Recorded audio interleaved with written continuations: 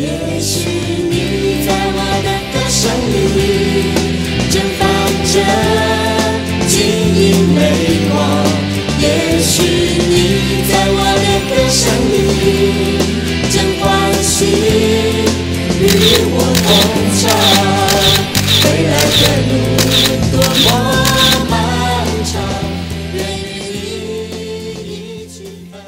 一场梦往往只属于一个人。一个人却成不了一场梦。欢迎收看《梦想新世界，今天我们要继续为各位介绍梦想者联盟。又是三位主题人物哎。真的，每次都是三三三呢哈。哎，那到底为什么呃是三个？这三个又有什么特别的？哦一定是不一样才会分开啊。哎，所以也一定是一样才会在一起喽。当然，好的，那让我们一起来看一下今天我们要介绍的三位主题人物的 VCR。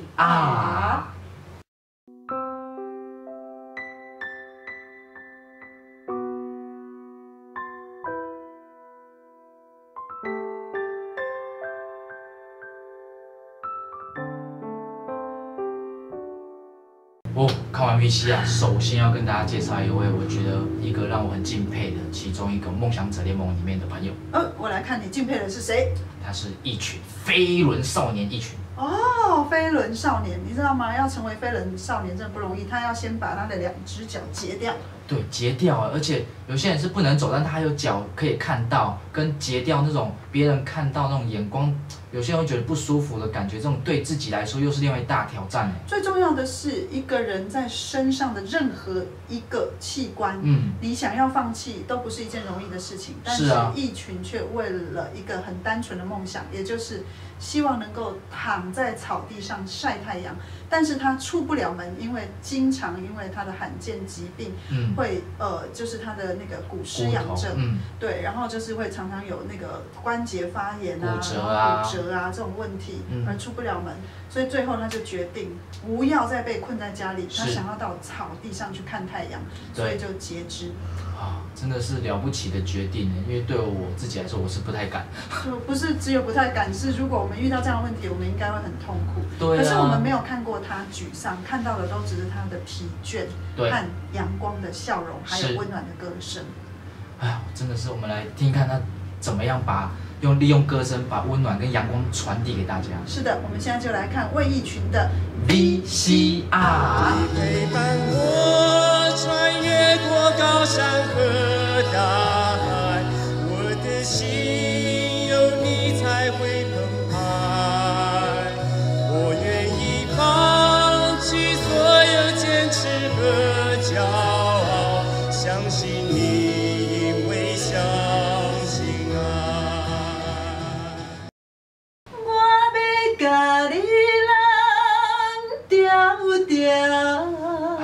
说嘛，真是不好意思。啊，你不用客气，因为我要揽的不是你啦，啊，不是我哦，不是你，无你要让我啥？要揽一个让我真感动的小江惠高淑珍。高淑珍，你说唱歌很好听的那一位呢？对啊，其实我告诉你，每一位梦想者联盟的成员，我都很想要紧紧拥抱他。是，哎，包括你吼，安尼有了安尼买给你揽掉。因为。对啊，因为吼这个呃，大家的梦想都非常非常的难以达成。真的很艰难、很艰苦的。对，接下来我们要介绍的这一位，呃，小江惠高淑珍，她就是为了唱歌，她虽然呢，呃，有一只脚独立站着的时间不能超过两秒以上，是，走路很艰难，嗯，可是不管哪里有歌唱比赛，他都去，人家是为爱走天涯，还是为梦想走天涯？没有错。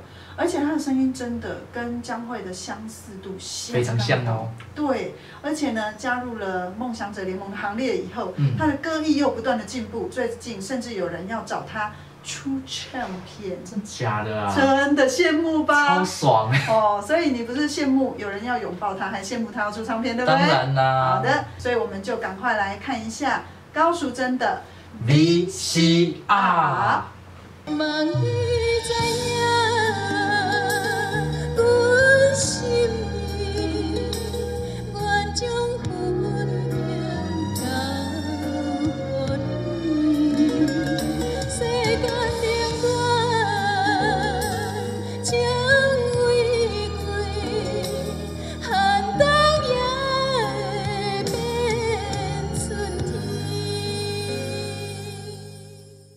接下来要介绍我们梦想者联盟里面的重量级人物，重量级，你是说最重的那一个，很重的，体重很重的？是说他这个等级的，不是说体重。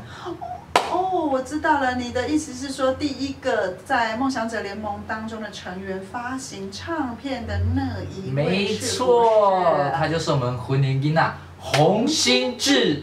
洪兴志呢，呃，接受到了这个非常好的这个支持。那虽然他在整个呃罹患了罕见疾病贝希氏症，那他的这个免疫力会攻击自己，所以攻击到眼睛就看不见了。嗯，再加上爸爸妈妈，呃，一个是罹患癌症，一个是中风，哈，妈妈是罹患癌症，爸爸是中风，嗯所以可以说一家人都有了很严重的疾病，可是却能够在这个最困难、最艰辛、最低潮的时候，完成他个人想要发片的梦想。所以今天最后，我们就来透过红心智的 VCR，希望能够带给大家呃一些梦想的冲击。希望大家不管在多艰难的、多么困境的情况下，也都能够冲破重重难关，是的，都不要被打倒。对，实现自己的梦想。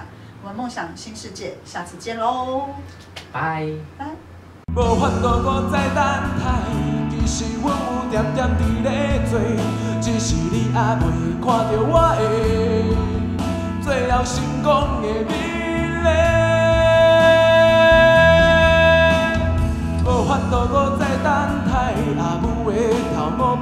啊白，脚头有跍咧白白，若亲像对我讲，你着爱学